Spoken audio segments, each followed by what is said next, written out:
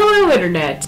I have not seen you on this channel for a while. In all fairness, it was because that Denver Comic Con was coming up, I've started the new 40 hour week job, and I just tried to do all the things and it did not work and YouTube suffered for it. Anyways, I went to Denver Comic Con for the first time. It was this last weekend. It went from Saturday, Sunday, and then Monday on Memorial Day, and this is my media pass thanks to Brodie. She was so kind and lovely to allow me to be her second shooter slash content snagger for her website. Maybe just one more until I have a button from her saying just one more chapter as she knows I am a book lion. And I have so much footage from this weekend in my camera right now is a 64 something. Yeah, a 64 gig is in my camera right now and I filled up about half of it over the course of three days. So there's so much footage to go through, but I will try to put all of the pictures, stills that I took up on my Facebook page,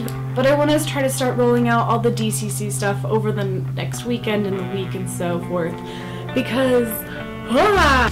However, for this video, as you can see from the title, I wanted to do a little mini haul from DCC, so here are the things. First, I'm going to start off with this gift from Carrie. It was so cute. She was telling me a few weeks prior that she had something for me and that she couldn't wait to give it to me, and then she told me when she saw me, I just, I can't wait to tell you what it is, and it was the bobblehead Hawkeye pop figure. Oh my gosh, she won it at Free Comic Book Day and didn't really care for it as much as she knew I would love and it's a true bobblehead. It's so great. It's out of the box because I don't really care about being in the box. I want to be able to see my little guys. Before this, I had two versions of Daenerys as well as the little mini keychain of Dany. I had been debating on collecting more because when I first saw these like two, three years ago, I was like, oh, those are little like soulless, creepy eyes.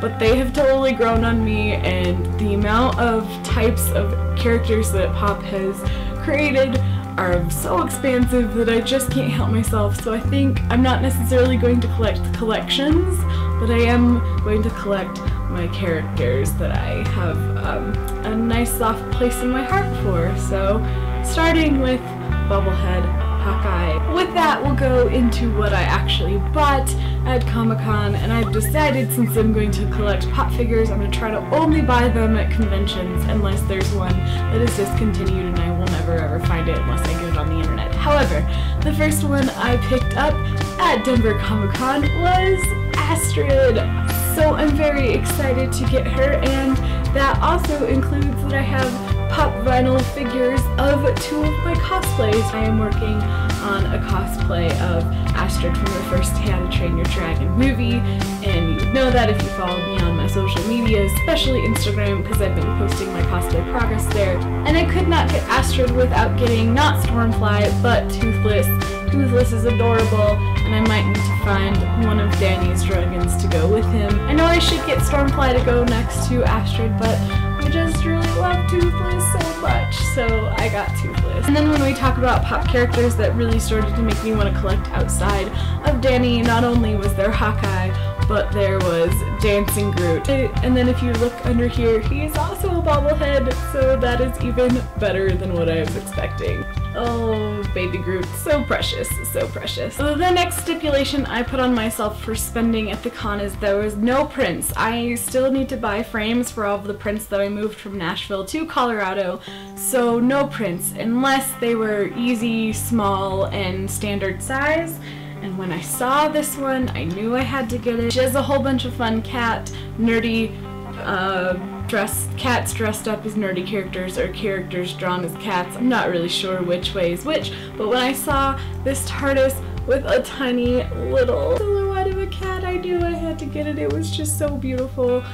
So it's mine now. So that is it. Uh, those three pop vinyls in this are the only things I purchased at Denver Comic Con, but it's not the only thing that I got. Flashing back to Carrie, she went around Artist Alley with her boyfriend Nate and they purchased some simplified um, minimalist posters and it was like $5 each or 3 for 10 and so they got a Firefly one for Carrie and a Spider-Man one for Nate and then when they were thinking about something else that they wanted they couldn't really decide and then they saw this one and they got and it's so beautiful, and I love it so much, and I'm so just Carrie, you spoiled me this weekend. Thank you so much. And then the last set of prints that I got were from Geek Fuel. For her website, Brodie and I actually interviewed the subscription box Denver-based nerd fun fuel stuff, Geek Fuel, and we both saw this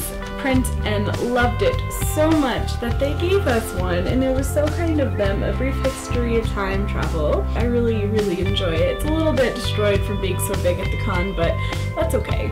And then I also got this one, which I haven't actually, I don't, I don't know what this is. I was like, what's a plane? And I got it. Inside, it is little stormtrooper. If you want it, let me know. I probably won't keep it because it doesn't really fit with my own collective aesthetic, but I do love the little surprise stormtrooper. That's fun. And then the last little freebie that we got from Geek Fuel was this adorable card of Frodo or Bilbo, not really positive because they look so similar, with Smeagol slash Gollum and inside it says, I hope you get something precious this year. I actually have an idea of who I would like to give it to, but I'm not going to say much more than that. And then finally, when I got home from Comic-Con the next day, I saw one of my roommates, he actually got a first edition copy of Dune, which is awesome, go him, and then when he was talking to a lady, she handed over this book, A Gentleman Takes a Chance by Sarah A. Hoyt. I had no idea what it was about, but she gave it to him and she asked if I would read it. It is actually also signed as this changeling kind of creatures who live amongst us in the real world. And then on the inside cover, it says it's the sequel to Draw One in the Dark, which I had never heard of either, but I do plan on reading this eventually, and I think I'm going to read it as a book two, and say if it like is confusing or if it's a good solid book two in a series where you can just like jump in anywhere. I'm really kind of curious about it, but you know, fantasy that uh, lives alongside us in the real world is a fun one, and yeah, free book, so reading it. And that is my Denver Comic Con haul of fun goodies.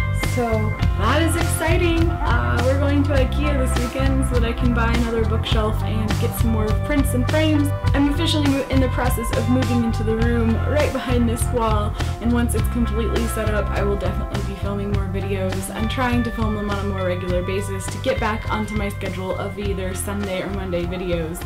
So Thank you guys so much for returning after my little surprise hiatus, and until my next video, DFTBA.